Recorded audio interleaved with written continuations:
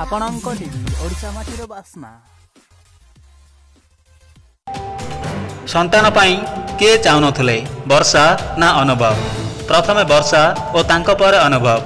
ବର୍ଷାଙ୍କ ପିଟିସନ୍ ପରେ ଅନୁଭବଙ୍କ ପିଟିସନ୍ ସାମ୍ନାକୁ ଆସିଛି। ବର୍ଷାଙ୍କ ଅଭିଯୋଗ ପରେ ଛାଡ଼ପତ୍ର ନେଇ କୋର୍ଟରେ ସତଚାଳିଶ ପୃଷ୍ଠାର ପିଟିସନ୍ ଦାଖଲ କରିଛନ୍ତି ସୁପରଷ୍ଟାର ଅନୁଭବ ମହାନ୍ତି।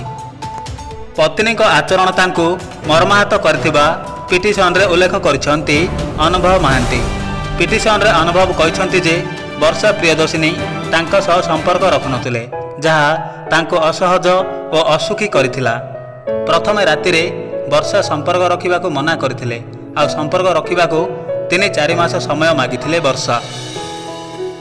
ବର୍ଷାଙ୍କ ନିଷ୍ପତ୍ତିକୁ ଅନୁଭବ ସମ୍ମାନ ଜଣାଇଥିଲେ। ରାଜ୍ୟସଭାକୁ ନିର୍ବାଚିତ ହେବା ପରେ ସମ୍ପର୍କରେ ସୁଧାର ପାଇଁ ଚେଷ୍ଟା କରିଥିଲେ ସୁପରଷ୍ଟାର ଅନୁଭବ ମହାନ୍ତି କିନ୍ତୁ ସମ୍ପର୍କ ରଖିବାକୁ ଅସହଜ ମନେ କରିଥିଲେ ବର୍ଷା ପ୍ରିୟଦର୍ଶିନୀ। ପତ୍ନୀଙ୍କ ଏଭଳି ଆଚରଣ ମର୍ମାହତ କରିଥିବା ପିଟିସନରେ ଉଲ୍ଲେଖ କରିଛନ୍ତି ଅନୁଭବ। ବର୍ଷା ଭଲ ପତ୍ନୀ ଏବଂ ଭଲ ବୋହୂ ହେବାରେ ବିଫଳ ହୋଇଛନ୍ତି। ଅନ୍ୟପଟେ ବର୍ଷା ପିଟିସନରେ ଉଲ୍ଲେଖ କରିଛନ୍ତି ଯେ ଭବିଷ୍ୟତରେ ସନ୍ତାନ ପାଇଁ ଯୋଜନା କରିଥିଲେ ବି ଅନୁଭବ ଏହାକୁ ଏଡ଼ାଇ ଯାଇଥିଲେ।